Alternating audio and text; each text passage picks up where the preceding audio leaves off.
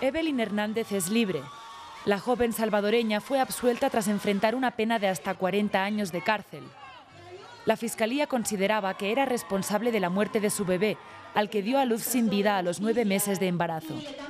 Por eso la acusaba de homicidio agravado. Gracias a Dios se hizo justicia. Este, también les doy las gracias a ustedes que han estado aquí presentes.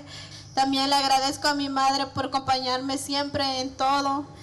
Su caso se convirtió en una de las banderas de la lucha feminista. Varios grupos de derechos humanos celebraron con ella la noticia, como la directora para las Américas de Amnistía Internacional. Hoy es un día para celebrar.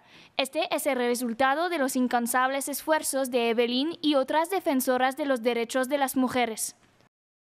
El Centro por la Justicia y el Derecho Internacional también aplaudió la decisión. Celebramos la absolución de Evelyn Hernández, procesada penalmente y detenida de manera arbitraria por El Salvador tras sufrir una emergencia obstétrica. Exigimos que cese la criminalización y se liberen a las mujeres víctimas de esa política de persecución.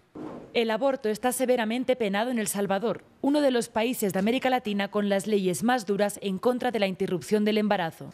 Lo prohíbe bajo cualquier circunstancia, incluso en el caso de Evelyn, cuyo embarazo fue consecuencia de una violación.